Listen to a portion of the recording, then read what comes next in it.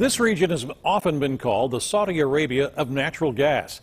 But what is the future of natural gas and other fossil fuels under the Biden administration? In an interview seen only on KDKA, political editor Jon Delano spoke with the U.S. Secretary of Energy for some answers.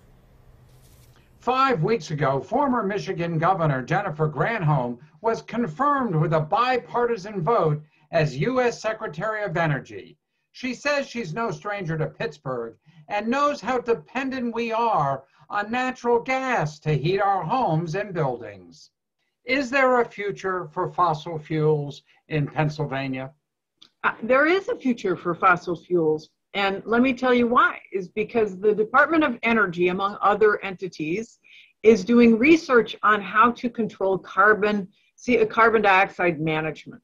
Granholm says research is finding ways to use fossil fuels cleanly while moving to other forms of energy. We want to make sure that those solutions are able to help this transition and keep people employed. But then there's fracking.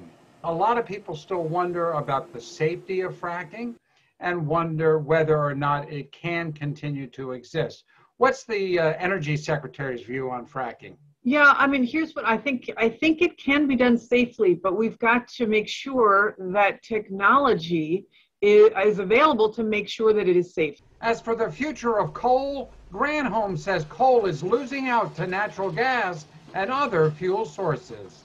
The global market has um, made is making decisions about coal, right? I mean, there there is a decision globally to turn away from coal, and, and without any policy, you are seeing that happen. That's where President Biden's American Jobs Plan comes in, with money to help transition coal jobs to good paying alternatives. We shouldn't be buying you know, wind turbines from Denmark. We should be making them here. We shouldn't be buying solar panels from countries like China that have human rights violations. We should be making them here. Nobody knows better than Pittsburgh a community that has been, you know, had to transition before, how important it is to keep your eye on the future, even as you want to make sure that you protect people who are going through this transition. Jon Delano, KDKA News.